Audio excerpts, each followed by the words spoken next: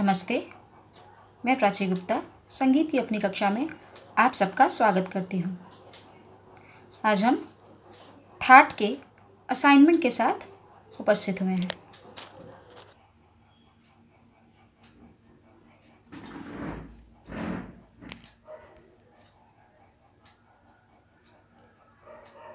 That के बारे में हम पढ़ चुके हैं कि थाट क्या होता है और कैसे बनता है।